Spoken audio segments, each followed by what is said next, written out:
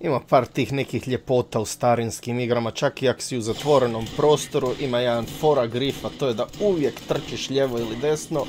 jer protivnici načelno nisu navikli da ti konstantno skrećeš, da da ideš naprijed i nazad, ovo ostalo im je malo nejasno.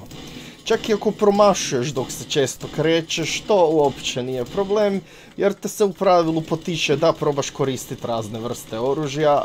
i ako gnjidiš jedno, sam ćeš napuniti kompletan set i nećeš to moći